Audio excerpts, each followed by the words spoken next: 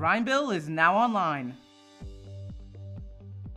What is good, fam? Today I'm gonna teach you how to make random numbers using JavaScript. You probably cringe a little bit there. I did too, so it's all good. First things first, you want to open up a HTML tag, a body tag, and close both of those.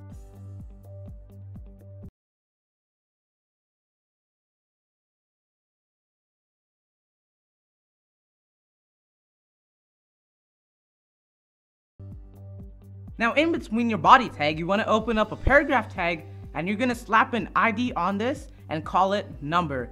we're going to refer to this in the JavaScript. Then go ahead and close off the tag, just like I am about to do.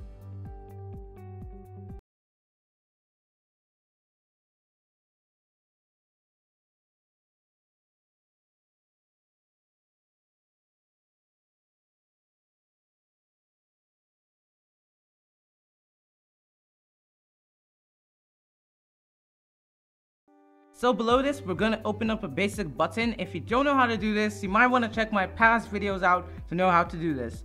Ongoing, this button is going to reference the random number. So when you click the button, it gives you a random number. So just copy down what I have down and voila. Actually, on a serious note, go check that video out. I'm looking for some serious YouTube views down here. Just kidding. It's all about you knowing how to do it. That's all I care about.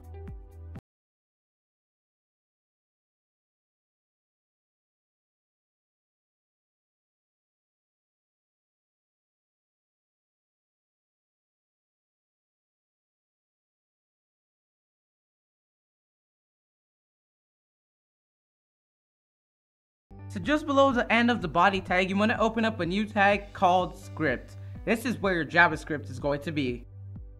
Okay, and in your script, you want to open up the function that we called from the button. So we're going to type in function, space, and then we're going to copy random, open up some brackets, close up those brackets, and then open up some curly brackets to close that up, and this is now a function.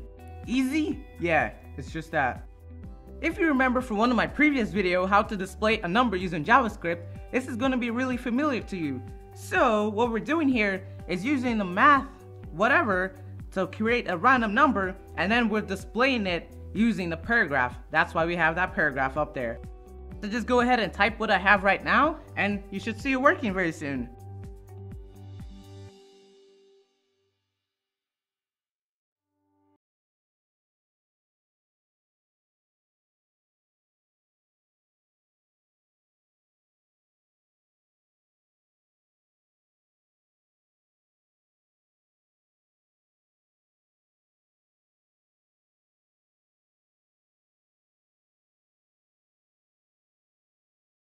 Okay, I'm just gonna tell you now, I made a mistake in this set of code.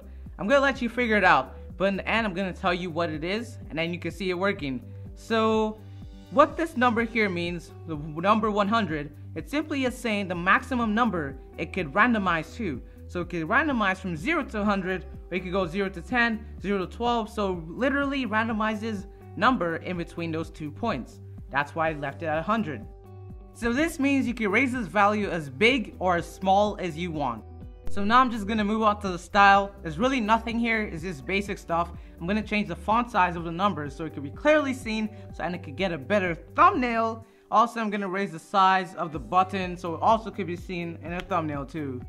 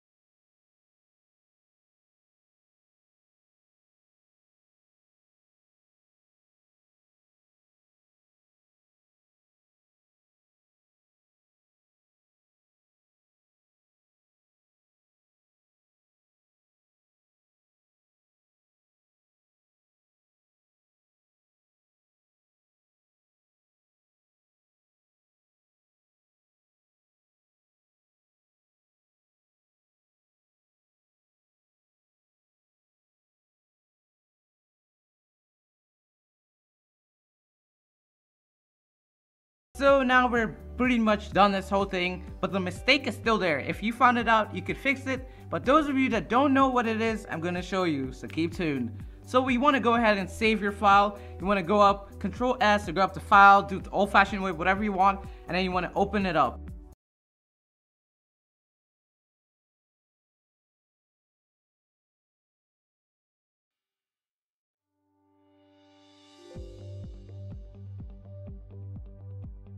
Oh, I forgot to save it as .html. You guys remember that. Never forget to save it as .html unless it's not going to work.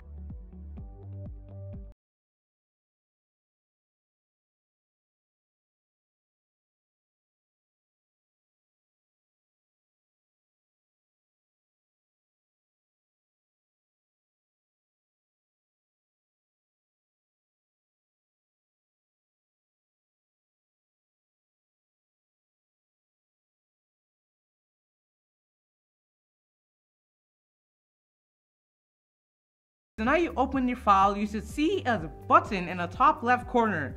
And when you click this, you will find out it does not work. Those of you who figured it out know that I accidentally typed in a times key where it shouldn't be. So let's go back and fix it.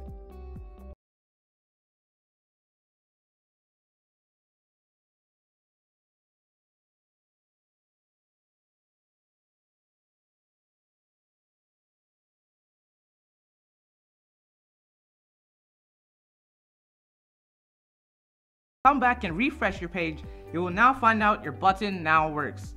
Now when I first click it, initially gives me the number 62. As you click it, you find out it keeps randomizing numbers between 0 and 100.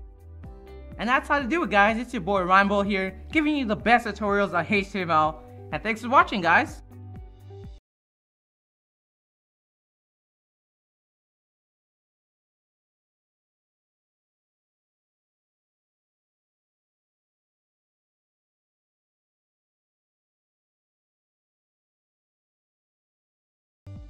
Join the Rhymebolt family if you haven't. Be my sixth subscriber. I really appreciate it. Until next time, Rhymebolt out.